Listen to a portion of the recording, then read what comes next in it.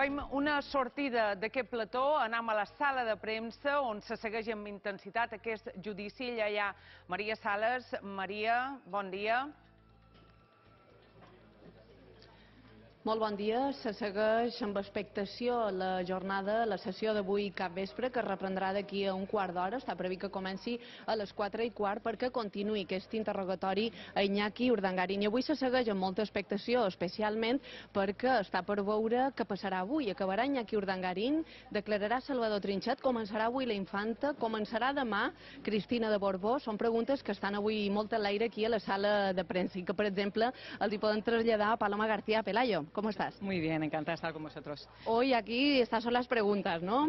¿Cuándo empezará la infanta? ¿Hoy o mañana? Pues mira, por lo que podemos saber, hay muchas probabilidades que sea esta tarde mismo, antes de que acabe la sesión, porque el interrogatorio de- del- del abogado de Torres le ha hecho prácticamente el trabajo a, a Pascual Vives, al, al- al defensor de Iñaki Urdangarín, y creemos que Pascual no tiene demasiado todavía que, que- preguntarle en lo que está cada vez más mm, confirmado que hay un posible pacto o acuerdo de no pacto de no agresión, de no agredirse y de preguntar cosas amables.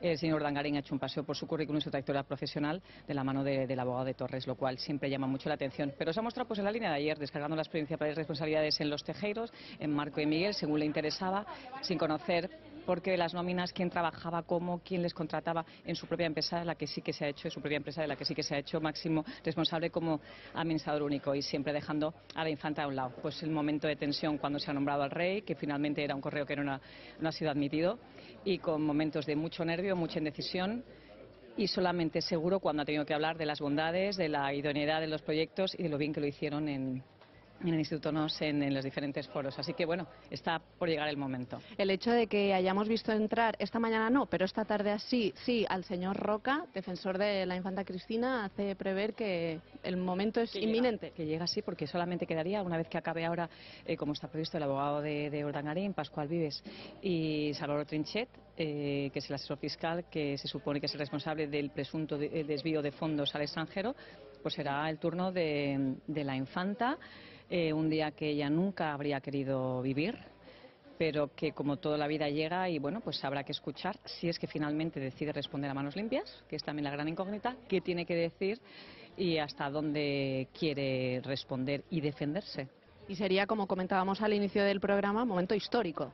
Sin duda ya lo es desde el momento en que la sala decidió seguir adelante y sentarla para que respondiera. Ya lo fue en su momento cuando en instrucción ya el juez Castro por dos veces la, la imputaron y la audiencia en una de ellas la, la estima, la estimó finalmente. Es un momento histórico y que desde luego está presidido por el, pues por el retrato del rey Felipe, de su hermano, que la mira desde, desde la presidencia y creo que ella se ha ido, aunque en estos días se ha ido acomodando un poco más a- al escenario, a nosotros periodistas, a las preguntas. Hoy yo la he visto pues eh, incómoda y visiblemente molesta por alguna de las eh, cuestiones que allí se citaban porque su nombre no ha dejado de salir y en muchas ocasiones la Casa Real, Carlos García Revenga, el secretario, como uno de los también de las dianas de, de, de Iñaki Urdangarín en cuanto a que lo sabía todo y que no daba un paso sin que García Revenga lo supiera.